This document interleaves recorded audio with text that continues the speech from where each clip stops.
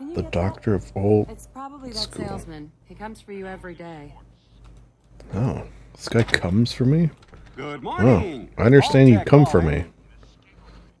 Morning, morning. Isn't it?